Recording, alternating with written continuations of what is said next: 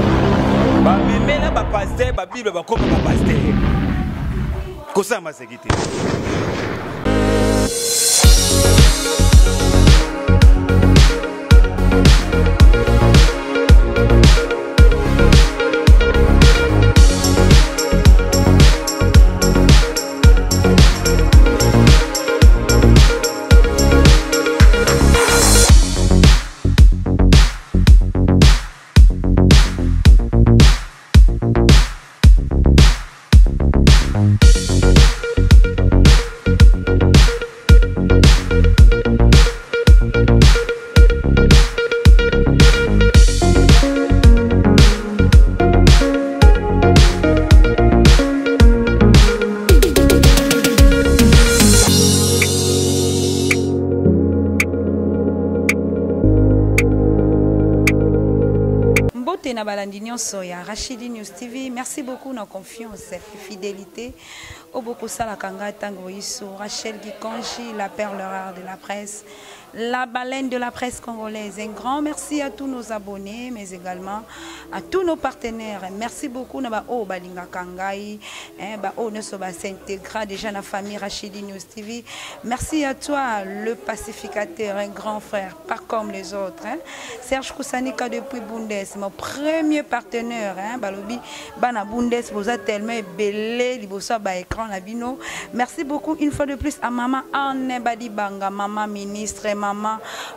Bon voyage à toi maman balobi hein kokende malamu okoma malamu merci encore une fois de plus à une grande dame hein, je dis bien une grande dame maman CBB hein, CBB euh, Moseka Matombi CBB Moseka Matombi la grande dame depuis Cologne je dis un grand merci na ba abonné na biso merci beaucoup lelo tolobi sujet na biso ya mokolo ya lelo tolobela mwa moke na makambo oyo kosala nyungu nyungu na niveau ya réseaux sociaux so nalobi nyungu nyungu ya trop de gens qui parlent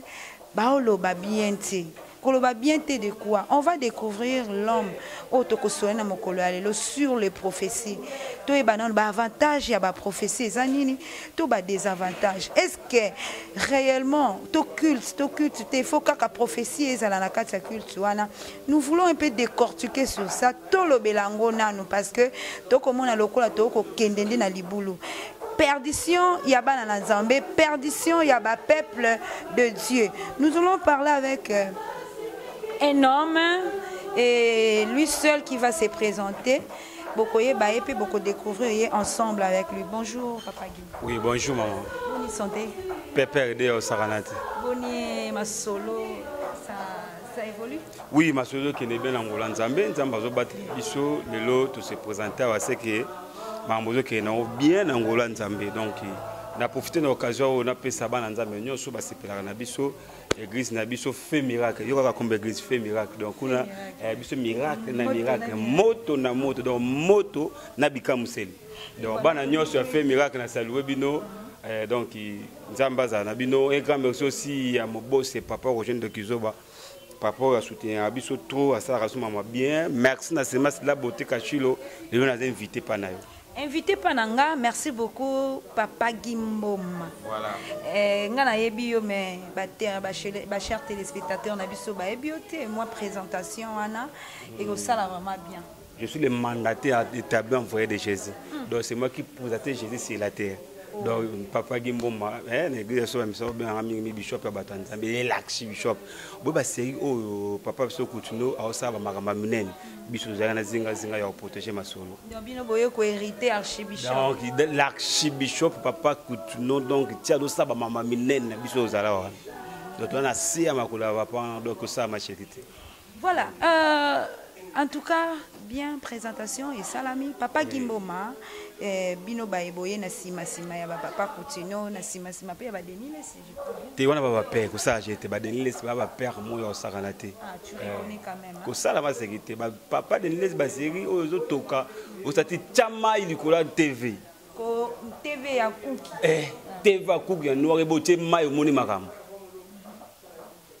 mwana pena pika ye kristo azwi kaka teve oka o nzonze ekwei ekwei moto azwi guérison abiki Eh, mais mikolo tomona mambongo ezala su te toloba na mpe verité bapere basei wana bapesaka makambo babi le monde évolue makambo mpo ekoévolue lelo tokomi sikoyo na système ya baprophétie bon makambo ya baprophétie ngai nalobaka vraie prophétie c'est la parole de dieu okay. eh, donc vraie prophétie eza maloba ya nzambe eza na baprofesi mosusu bakobetwa mpo te bino bokopike mpe kristo okufi profesi nyonso bakobeta ma examine yango ozwi ya malamu ya mabe obwaki baprofesi mpe ebele ekoti mpe panza mabala pourquoi pas bokoya na tv koyebisa bato la bonne nouvelle obika la bonne nouvelle ezala su te ekomaka diemadi diemadi kua badiemadi wana yango epanza bamabala yango epanza makambo ebe diemadi ezokopana tozwa prophesie te totya yango na première position tozwa parole de dieu totya yango na première position moto atanga bible azwa makambo nyonso na kati ya bible c'est ça sikoyo baprofesi wana ntango ezoya omona baeglize wana baprofesi namonaka mpe baprofete baprofete bamonaka soki ateyi asakoli te okola kili tipase bien te mais eza mosala na ye aza prophète peut-être euh, oyo nzambe azolakisa ye à tout moment il faut adevoue yango aloba yango toboyi te eza mosala na ye kasi yango mpe mosala yango baozwa baprofite yango mpe ezopanzaka bato ti eza mosala no pesa biso prophetie ezala normal moto mpena ayoki losako asatinda o oh, boko ezanga hmm. yo ah, nzambe na ngai tala papage euh, tokokende vraiment mosika te tokɔta na sujet na biso soki tokolobela baprophetie hmm. eza na baprophetie mikolo oyo elobami mwa mingi entre autres tokoki kotanga nkombo ya pasteur euh, euh, joel francis amusakoli ah, prophète oyo azalaka nzela lini wana prophète joël francis nayebi ke baebele bayebi ye ayebani vraiment sur youtube e eza na prophétie oyo epesami oyo bato ebele bayoki yango balandaki yango esalamaki na kati ya etonga na ye alobi ke na eglise moko na kati ya, ya, ya eglise eza na mwana mwasi moko aza wana awuti kobima na mobali donc adetaille vraiment la femme atangi vraiment ti na kati ya nzoto na ye aza na tatouage ake kokitana akendaki na hotel mp epuis asite quand même nkombo ya hotel esali ke panique ekoti na kati ya eglise sikoyo prophetie wana tolingi nanu to examine yango biso ba analyste to examine nanu est ce que réellement eloko pasteur to prophète joel francis apesi comme prophétie ezalaki na avantage to ezalaki na désavantage oza eza makambo mosusu ya oloba yango tata nzambe akorevele omo boye zwa mpe gardon ota na prive mpo otalisi motu eloko esalaka baprofete na biso lelo asbeta eloko moko soit esepelisa motu be esepelisa bandimi lelo bandimi mingi na baeglize wana omonaka wana bakoma bafani ya bapastere na bango so professeur ebeti o oh, jésus eh, banimatere bapastere ti banimatere baprofete na bango wana ntango obeta profesi euta mna digaka epa tata nzambe yoka mama tout l'église ezalaka na limete wana tout l'église ezalaka na limete wana église ya bacor Eh. Na oyebisa yo. Na tangi comme ba église na bika tous les églises ezaka na limete. Ozwa idée te. Basala mama bien kuna te. mosusu kuna abimisa bato banjombo mosusu abimisa bato ngai nalukaka bato ezaki oyo abimisa bato banguma babi oo yo mona te ofanda mna boye babimisi yo njombo siko ntango obimisi nga njombo biso ndeti ngai nde nalelela njombo bobimisi yango opesanga yango na dama mpe bimbi mpalanga moko okende osko pwani babiloko eza babiloko ya bakatier moko kala babanda osela bato bande bosasi wana wana eza prophetie alobi oyo ye amoni tozokoma wana ah. omoni prophetie obeti motu prophetie yango mpe ezwi place te ekwei place mosusu quand ese yo tobeta motu lisakoli biloko tu otangi wana na place otangi bake baverifie babi eza nango bongo te ese profession ezwi vi te tokende na biloko ko totyana mamu na mesa profesi obeti mutu fale ezwa place yango ezwi place te eske bato baondimelo totika kosakana na bana nzambe mpe totika kokosa bana nzambe oh, wana c'est vrai so ezalaki ya solo te peut-être mwa mwasi wana alingaka se défendre na kati wana sikoyo totuna bato bake kuna bato bake kuna na bandale bake koverifie kuna chambre oyo alobi kuna na bandale eza te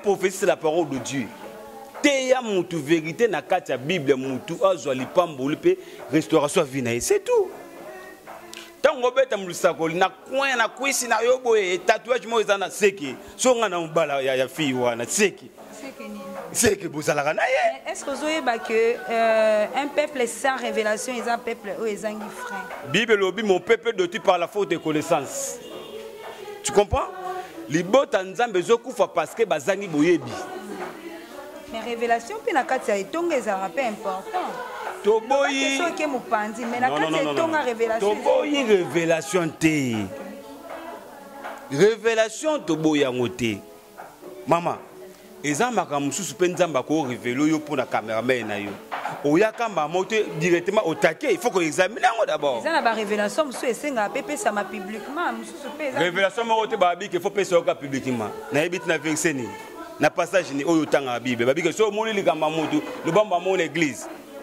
paster na ngai azalaka na eglise akozwa leka mpo na moto ya biso na soki akiti tikala eza prophesie te ifo alobaka mpo basipote bagangi c'est quoi ça na baeglise oyo ndomona bango tu wana bafana paster tozwa nao likambo oyo etali euh, hotel tobanda nao koanalyse ndenge pasteur euh, to prophète francis alobaki atangi nkombo ya hotel eza danger te par rapport ya obebisi deja obebisi deja hotel wana chicop pourquoi oh, pourquoi yo detailler mondimi na yo ko detailler tela bato te eh mama ntango nzambe alakisi yo vision moko to prophesie moko oyo esalami wana kutu eza kaka baoyo te biloko mosusu jwana abeta so mino fodo table na o oh, nga natala bilosu na tv te oyebi oh.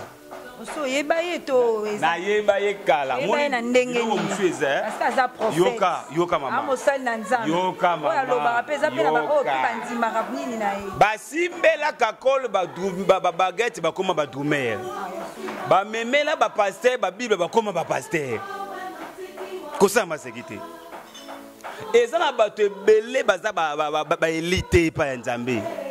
beaucoup d'appele mpe deli beli ya nzambe baza mike bato mosusu babimi na loyenge mosusu ezaki aye na bonzambe asietaki kosieta se etupe na kala ya bonzambe baza mosala nzambe te miracle nyonso ewutaka epai nzambe te moto akoso te miraka nyonso euta epa nzambe te vie edingo azobimisa mutu se te quartier eh, paster mpe abimisi mutu se te boza numero moko to différencie mpe topesa mpe nzambe nguya na ye ti eske nguya nzambe se limite kaka na kobimisa base te nguya nzambe se limite kaka na, na, na baprophesie yo olobi oyebi paster français oto prophète Joël France oyebi ye na ndenge nini pesa biso na maman oyo eza TV toke na plus loin te mais nayebi si oke nayebi ye comprendre aza ba numéro mosusu abetaka akompose numero eh, etele te ete bobeti mpe bobengi mpe moto wana ezwi mpe moto wana eswi dernièrement mpe auti kopesa profesdevant ah, toute l'église esimbi wana bolobi te ke esimbi te wana esimbi quand même bondimi yango tala nayebisi yo eh? diable apesaka prophesie diable apesaka prophesie bonzambe ebebi bonzambe eza suza place te na makambo ebele ya basala nzambe ya ebele na ndenge nini detaille me quelques-uns soki nazobola makambo ebele na makambo ebele basala nzambe basali nini basala nzambe basali ah. nini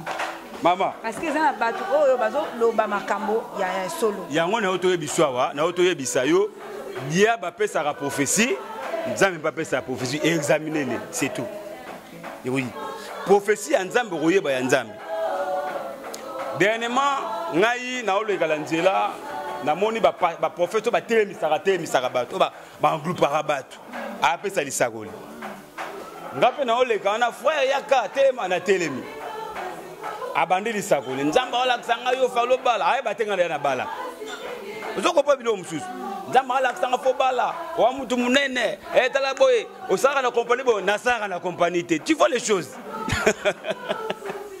nakangi maboko abeti lisakoli abeti lisakoli esili papa na suka eh, bongo tokutana nazeli ye ti esili naboyi kosopli na miso ya bato atandaki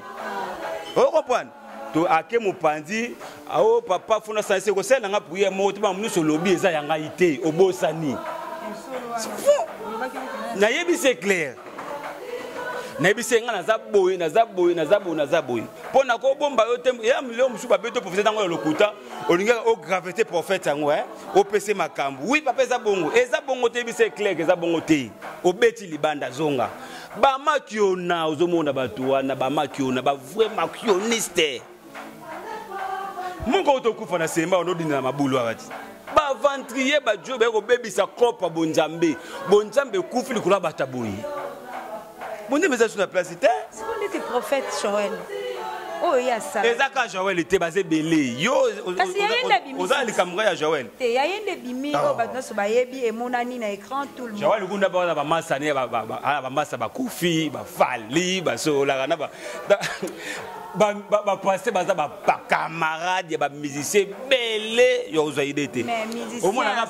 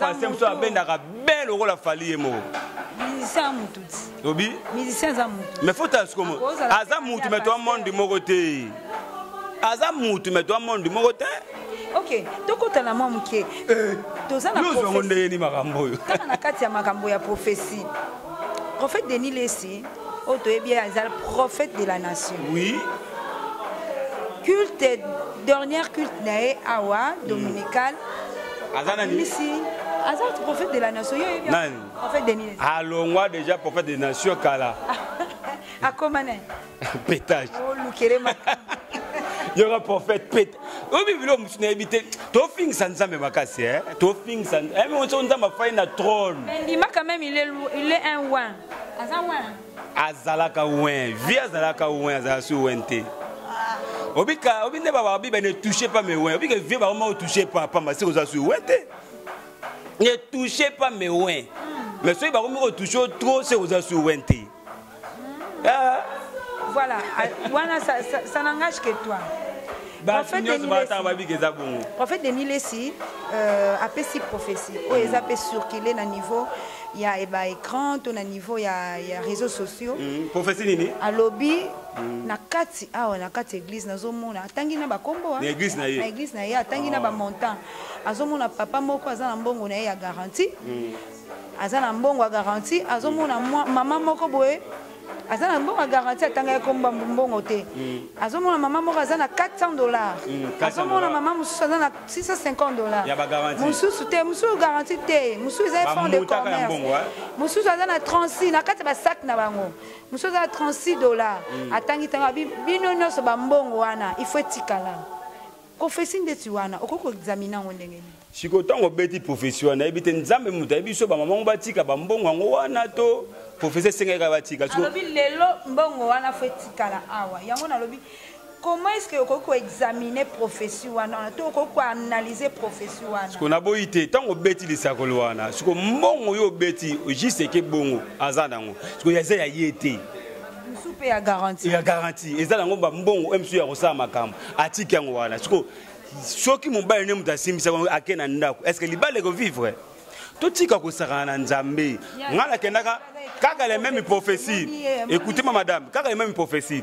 tokendaki na église moko tosamba prière esili nazalaki korata na église prière esili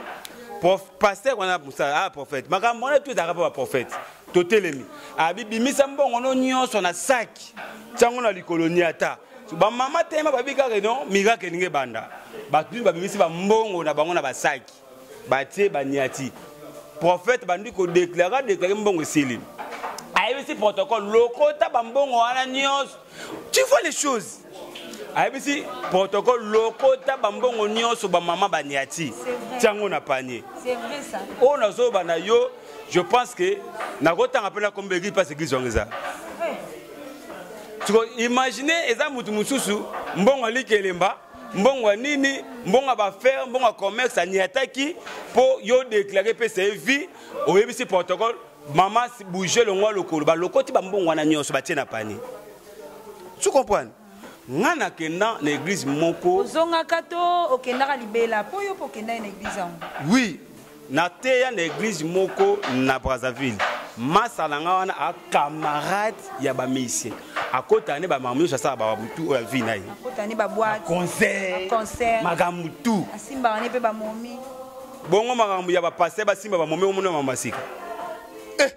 bavrai divorce esalamaka mingi mpo na biso basala nzambe mosala nzambe akoyoza eleve te na mwasi ya ndako bakokende bia soki atombwami amati niveau oyo asui mwasi ya niveau na ngai te siko bandaka bobandaka nde niveau ezalaka te zokopwana na vie mama oyo oza nango konte nango oyo oza nango te kokonte nango te c'est ça nazoyela wana tosilisi action nayesi pai bon da deux jours fo nakita nama baimage nakopesa bino bodivise nayesi pai da deux jours fo nakita abi nanga non il faut atoke quelque part to to raisonner mambo to tosala ngabi prendre problème toke quelque part botoki se tuve na boite nabi eh nga awa nakotaka te ozokopwana eh. profesi eza mabe te profesi mpe epesa motu vie soki profesi topesa motu vie te soki profesi te bible il faut approcher bato la bonne nouvelle lelo bonne nouvelle eteyamaka suku te noyebisa yo la bonne nouvelle eteyamaka suku te okoimagine moto abanene mati na chere abandi kopesa masako soki azakanga 5 minutes asakoli bato pendant 40 minutes aexote bino pendant 5 minutes c'est quoi ça so moto akobima na église aloba nini nazwi mateya bie nazwi prophétie pas trop de prophète yango moni baeglise ebele enseignement eza te mais prophétie soso babengisi yo moto ozalaka na profite te na église oke te ya baeglise ya bongo bamoni okoki oza na nguya te lokola oza na eloko te pourquoi parce que bango bamesana bakolisa bango na prophesie est ce que prophesie kokolisa moto prophesie ekolisaka moto te c'est la bible parole de dieu méditer le jour et nuit okola mais lelo na baeglise bato bakokolisa bato na prophesie yoka esakola mwasi na ngai komoi na kalese rouge osakoli mwasi naye komonaki na suti ya pembe sekwasa seke yo omonaki yango basere oyo bafanda liboso ya profete liboso fo kokangaka bango makolo bakanga bango makolo c'est très danger mpo soki amoni yango amoni yango osakola yango te ah. nzambe azomona na basexe ah jésus yaya soki nzambe azongi lelo bato ebele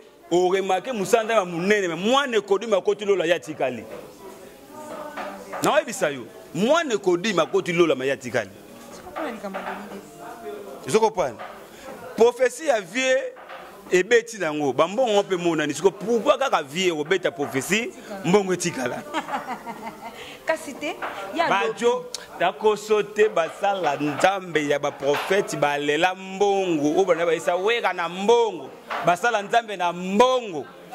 ozwa ide te okomprendre yaya na vie ya lelo sambela nzambe na poso oyebeli nzambe kosambela nzambe te mpo tala eglize bato batondaka basalaka boye luvunu mpe le prix pa moni baeglize na bazalaka ebele wana oremarke pasi ayeba bandimi te eh, soki okenda intercession okenda afemissement okenda gane dame mokambi na bino kaka nde moto ayebi yo mape asaka ayebi yo te mais salaka effort nzambe ayeba yo ke bango bayeba yo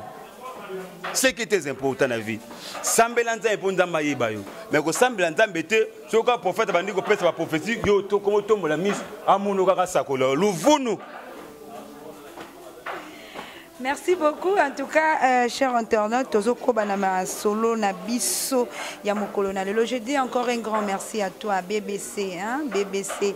CBB Moseka Motombi depuis depuis Bundes. Merci beaucoup. To toko koloba nini na likambo ba prophète. Lelo yo ekomi neti mwa soni.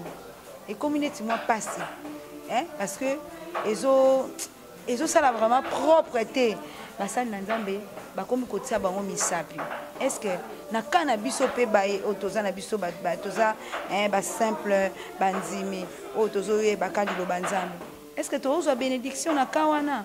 to eza na bamalédiction oyo ezolanda biso par rapport ya makambo oyo bango bazosala keke mpa na baenseignement nazwa bolumbu ya mama pasteur eza benediction mpo na papa pasteur malédiction mpo na mwana comprendre un pasteur oyo mosusu azwaka dignité na ye mosusu akobima na mondei moko boye ozolakela vie ya mwana wana oyo obali ye te esi ota yo oza na mama pasteur na ndako obimaka susu na fille moko boye na mosusu protocole na église ozo kodétruire vie ya mwana wana sans le savoir ozo comprendre o remarquer bana bongo na ba église bazalaka ba teti même ma pasteur pa obanga ye te pourquoi parce que ayebi ke na bimaka da na kumu ya église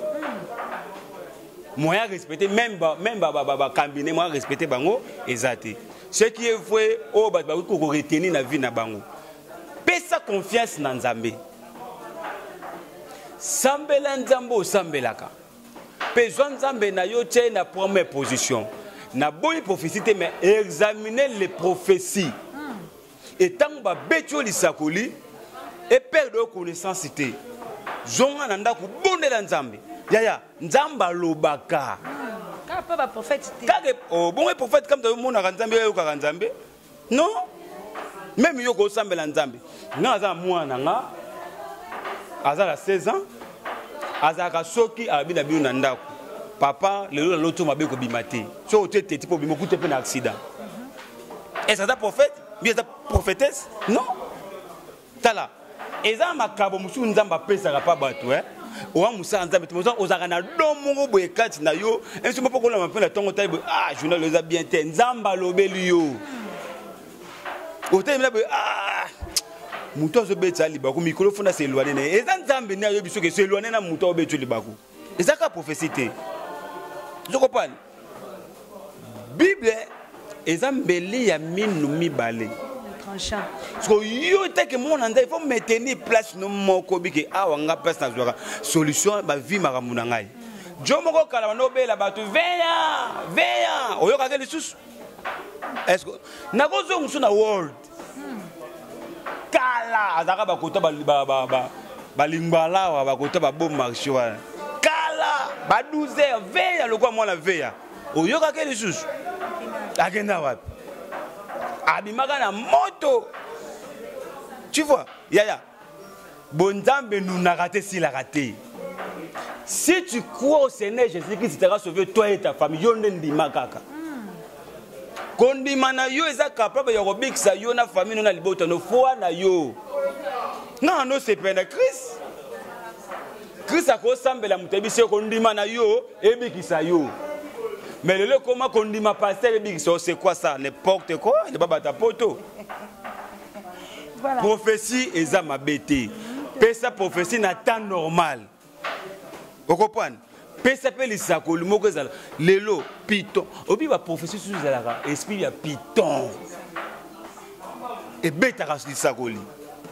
sikoyo bana na nzambe basala nini na ka wana bana na nzambe basala nini na ka oyo mwana nzambe nyonso na oyebisa yoyoka su profesi te nono tondimela su baprofesi te parce que ya de bonne aussi euh, ba bonne pe ezali ya mabe eza ya mabe ya malamu yoka prophétie mais examiner les prophéties oyoki yango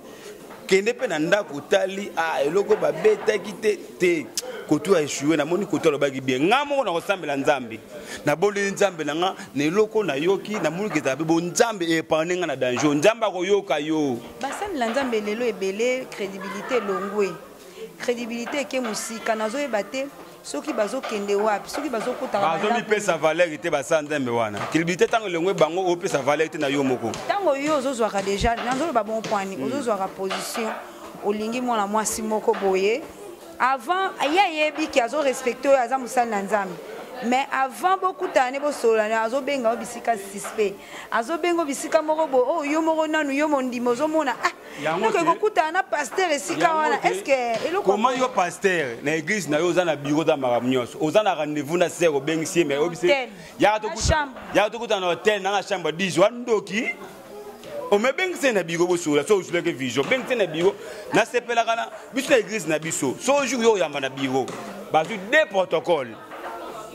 de protocole batie yo na kati ya biro na bino mpo tomona bamakambo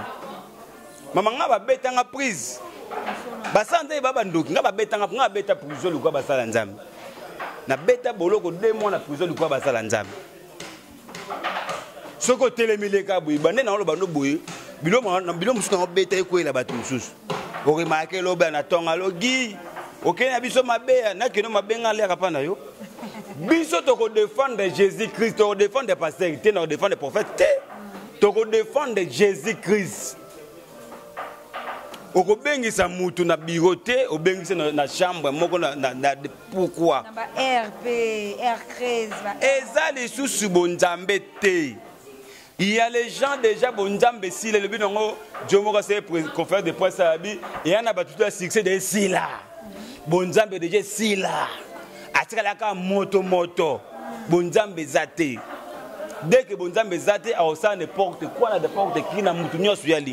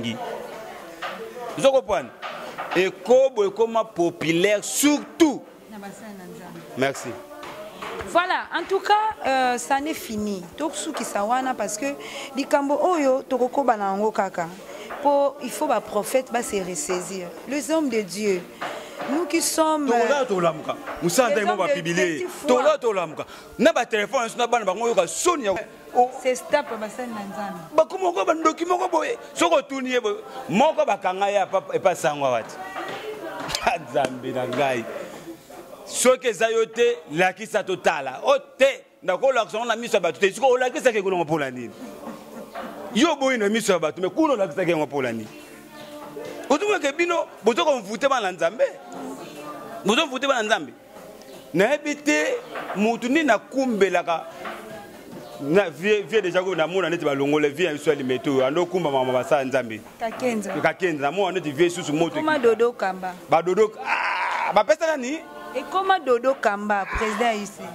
dodo dodo kamba ba pesa ne charge yango ah, c'est évêque mais bakutu no banani bavie soni bazali mais information naozwa balongola soni na makambo yango omonaka eglise ekomolaka mpe ekoma mpe lokola bapasteur bakoma mpe lokola baparti politike na bango eh? eh, to vote mikolo oyo oyo na bonzambe eza bongo te eza bato mosusu baa bato moo boye zwa etyai na se fanda nanu baninga basala mosala nzambe ngwe mama nga nazala na paster mo paster wana akweya na ekobo na mondimi na eglize wi bato balobi balobi balobi asengi bango ayebisi bango bopesa nga temps naleka na eglize na confesi mamonga nasala bandimi baboyi ya papa abi te aleka na eglize ayesi bango bopesa nga konje ya une année pasi mpo nakweyaki na sala na te siko moto abongo nzambe atika atika ye abundele te aconfesse devant bato oyo bato babombamaka ya ndimi komipesa komitika te ngambo nasalaki yango nzambe alimbisa nga nzambe alimbisa yo te mwasi azalaki wana mwasi non non eza na basi basala nzambe na basi basala nzambe okopana mwasi na yo oyo ayebi ke mobali na ngai azalaka boaza likambo eye eza satana asipote yo mais oyo oh, wana babombamaka wana soki okangai kaka envoutement eh, o oh, bino envoutement yango eyaka kaka ntango osali evenema les prophéties qui détruit les vies des gens prophétie les prophéties tosukisi wana na mokolo na lelo papa gimboma tolobi mwa makambo ebele tolingi tosala yango mwa résumé oui. par rapport ya baprophétie oyo mwana mboka to prophète francis to joël francis alobaki mm. na oyo papa na biso denis lesi alobaki totraite yango comme de vrai ou de faux prophétie mpasi mpasi yaka ezala mingi na bato bazwi yango moni prophétie abeti prophétie mpo na bato nyonso te ta abeti prophetie na bato oyo oyo ye atikaki etation na bango ndeti vie denilesi abeti prophetie na eglise na ye quelque personne wana mpasi ezaki ya bango bayoki yango mosusu mpe ezalaka ayoki soni mbongo ya bato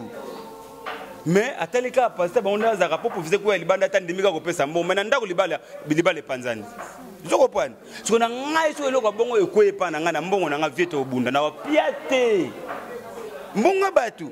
neti kaka nalandaka mabiloko vie na ngai natambo na mbongo na mpo bisu 250 dola profese ekwei ata bokangi ngai na wapia te ata kanyama azongi na wapia te madame oyo tokobete profesi na eglize na bino kuna na limete bon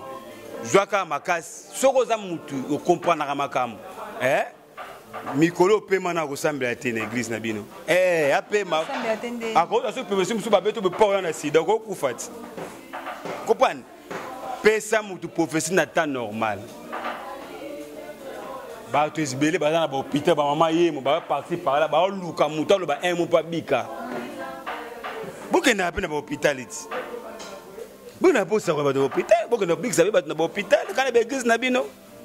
mpe baeglise yango orembaka yango ebetaka esalika misu eh, si mois ma tala fulu ya bato okozwa ide te nzambe apambola bango merci beaucoup euh, merci à tout le cher internaute merci na baabonné na biso bozalaki ebele wana toyambekelaki bino euh, papa guy mboma tosolaki na ye sur la prophétie to ba prophetie basali na nzambe makambo ya kolobaka ntango iso ekopesa mpenza pifo te na bana na nzambe liloba ya suka epuis numero ya telefone na yo oyo bakoluka baatteindre yo to barejoindre yo na numero na yo merci napesi mbote na bana ndambe nyonso balingaka nzambe oyo aza fidèle na église na yo kobaka kozala fidèle na église na yo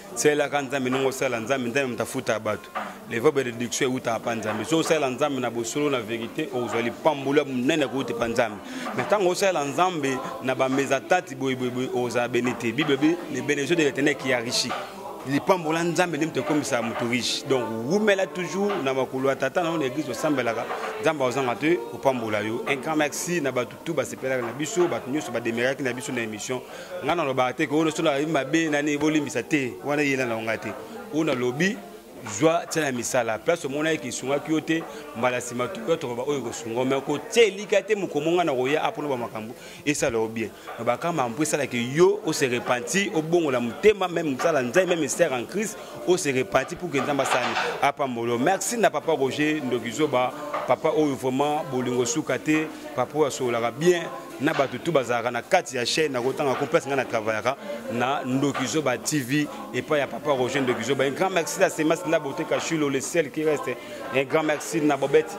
bobette maman na israël un grand merci na bato tout oyo balingaka biso basepela na biso là je vois directement papa na ngai jacob kumba abi oyo vraiment masolo kitoko napesi mbote na bamasa tu balibanda die die die na kata lwanda wana diego die masa na ngai ya ntongo malgre tuna balwanda tozwa bata bakutana te mais tokokutana kaka tomonanaka un grand merci na chaîne oyo vraiment tuka suka komona cameraman komona yo moko oyambi mosala nzambe na kalite basala nzambe tali puta tal oh, non non non non bashane na boye fo boyaka bayambaka bino kuna te Voilà, merci beaucoup à tous nos abonnés. je suis arrivés à la fin de notre émission. Un grand merci euh, à toi. Hein, depuis Cologne, hein, CBB, CBB hein, Moseka, CBB Moseka. Depuis Cologne, une fois de plus, un grand merci à toi, un grand frère partenaire privilégié, Serge Koussanika depuis Bundese. Merci à toute la famille Koussanika.